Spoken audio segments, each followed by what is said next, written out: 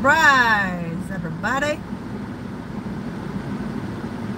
I haven't been on this in God knows how long.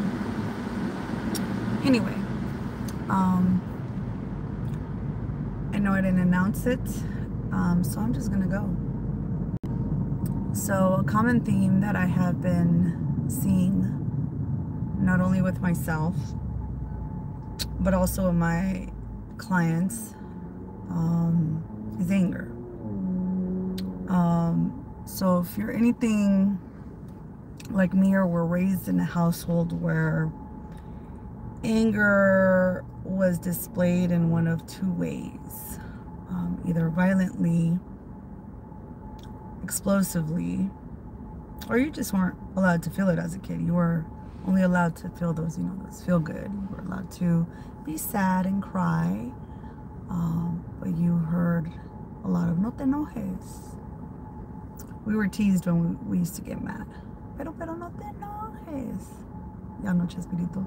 Anyway, I was raised in a Mexican household, but um, anger was not a, a common feeling. Um, at least it wasn't for me. Um, I had a conversation with my brother, my older brother James, and uh, we, we had a discussion, and he was very familiar with anger. I think it's a more common feeling amongst men than it is for women. Um, but it is a theme that has been showing up for a lot of a lot of my clients. So I figured I'd, I'd come on and kind of share my two cents because it is something that, uh, as an adult, I don't know what to do with it, or I hadn't known what to do with it, and it can get interesting. Um, just because I know how to channel other emotions, I know what to do with this them. Like I knew what to do with sadness. I knew what to do with heartache. I knew how to move it through my body. Um, I can think of, of a few really emotionally disturbing times that I've been really, really angry. Um, but for the most part, anger is one of those very uncomfortable feelings that doesn't simmer in me for long and um, it takes a long time. I'm usually takes a lot. I'm very frustrated. Frustration is more my thing, um, and then I cry because I'm frustrated um, before the anger takes over. Um, well, my brother was telling me how anger for him, he channeled it, he expressed it through through sports, through soccer, through basketball. But it wasn't just playing the sport and taking his aggression out on people. It was being able to, you know, use his ankle to kick the ball with force, but with a very directed force, or shoot the ball and use his his his wrist, snap. Um, so it just kind of reminded me of like in hip hop when you pop it. Um, and I have noticed at the times I have been upset while learning a choreography, it's the times where I've been able to learn it the fastest. Um, so it's definitely something that I'll be implementing. Um, but anger has been making itself known to me these past few weeks. Um, nothing in particular, just uh, the old me has been making a, an appearance. And um, some people have, from my past, have also been making an appearance. And where a year ago, I pretty much told them to F off, um, this time was different. Last time the triggers were far too sensitive, where I just knew myself and rather get upset and work through my triggers of anger, knowing that I was going to take it out on them, knowing that I just didn't have the patience for it, I just told them F off. That I didn't have the patience to work through my triggers while being friends with them. Um, this person happened to show back up, and uh, two things about me, if you don't know already know. Don't mess with my close family and friends, and don't mess with my money. this person just so happens to owe me money. Um, it's not a small amount. Anyway, so that was part of the issue. This time they reached back out, and I was like, um, they must miss me. what a little thing to say. Anyway, um, and I noticed that my response to them was definitely different. I first I checked them and I said, "Oh, you know, since you reached out, that must mean you have my money." They did not, and then they tried to get smart with me. Instead of lashing out, I I wanted to have a conversation with them because I knew that my a lot of people tend to not catch my tone when I respond through messages. And this happened on my team also, um, where I, I guess I come off as disrespectful. And it's never my intention to come off as disrespectful. I'm just very blunt and very uh, straight to the point. And apparently, my raw honesty can come off as disrespectful. And again, I don't mean it but I've been called out several times within the last month um, about being disrespectful. And like I said, I don't mean it. Um, and it triggers me because um, I can see why they're saying I'm being disrespectful, but I'm not. At least I don't think so. Anyway, so I decided to have a conversation with this person and I asked them why they're playing stupid. And knowing very dang well what they owe me and what they owe me for, and I'm holding them accountable to their word. Um, mind you, some time has passed by. Um, and I did state that rather than to tell them to F off again, I'm going to work through my triggers um, while we can attempt to be friends or not even be friends, acquaintances, because I don't, I don't, I don't care to establish a relationship with this person like I did previously. Um, and this person has not changed. They still make me laugh a lot. So um, it was it was nice to kind of remind myself why why I did keep in contact with them previously, or why I even was interested in a friendship with them previously because they make me laugh.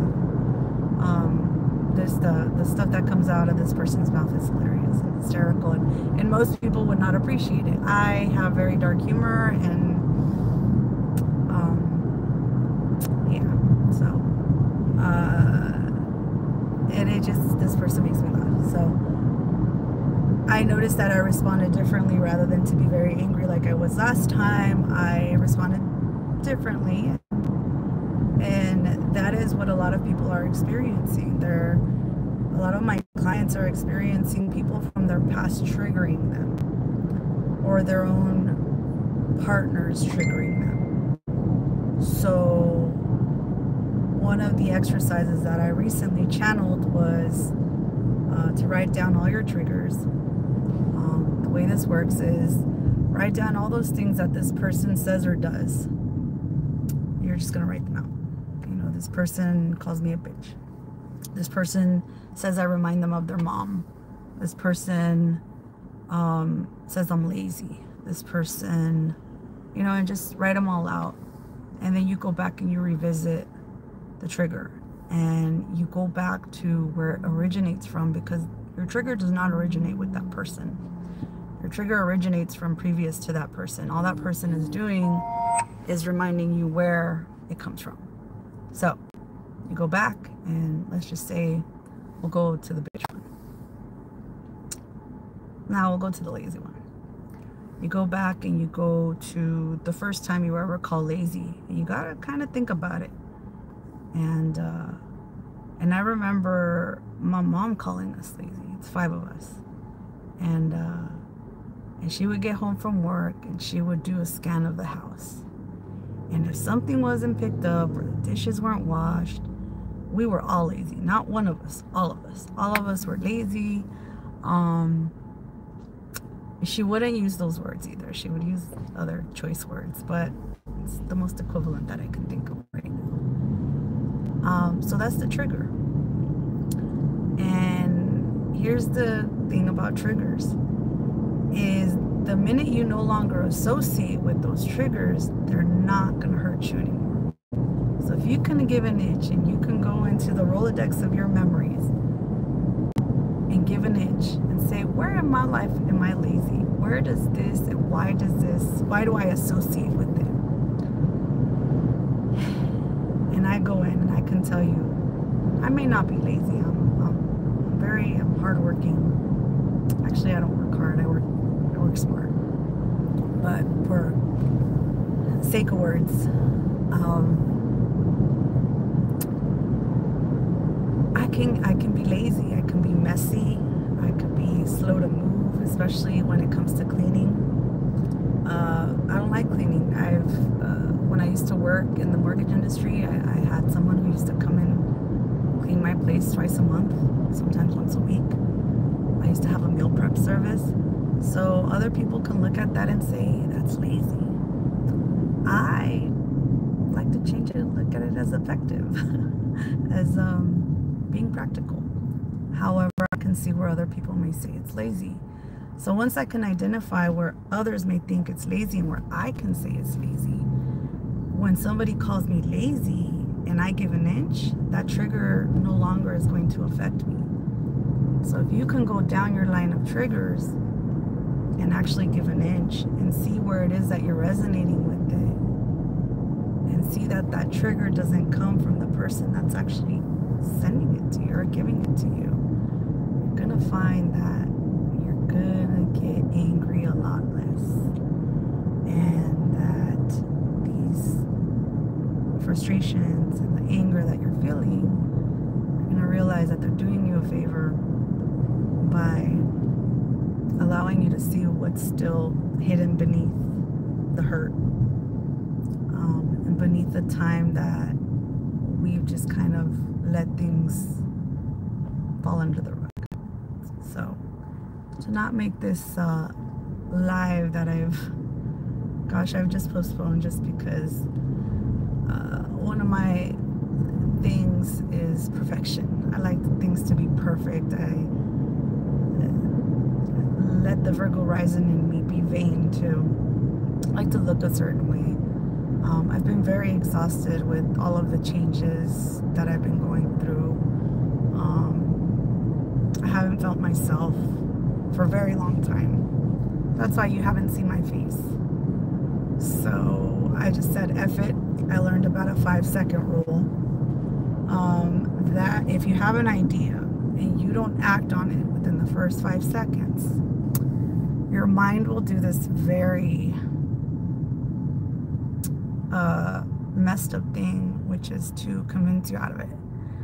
So here I am five seconds in and then I see my face. I'm like, oh my God, I look like, you know, not myself. But here I am sharing a vulnerable moment with you guys. I hope you guys appreciate it. Share and like this video. Um, and I hope to get you guys' support. Let me know what you guys want me talking about. I just thought I'd share this moment and a small process. Um, and I hope it helps you guys. Let me know what you guys think. And uh, and I need to be invited to these conversations. If not, you guys won't see me around. Uh, is something that I've also learned about myself. I kind of feel like um, because you guys don't request or ask, I feel like you guys don't want to hear from me. So that's why I've also laid low. So you guys have something, um, message me and I will get on it and I'll give myself the five second rule regardless of what I might look like. Um, I really don't like doing these moving, but apparently I had to move this while I'm driving. So it's all good. I hope you guys enjoyed this. And I will see you guys hopefully soon.